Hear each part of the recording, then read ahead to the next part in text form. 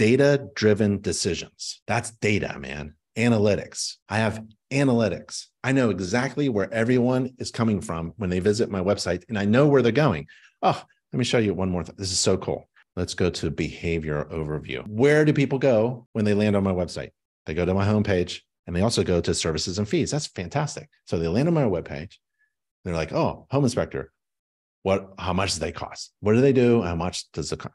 They also go to my qualifications, not so much my sample report or my blog or anything like that.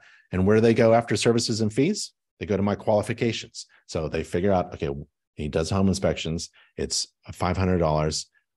Why are they, qual- why is he qualified? And he goes to qualified, right?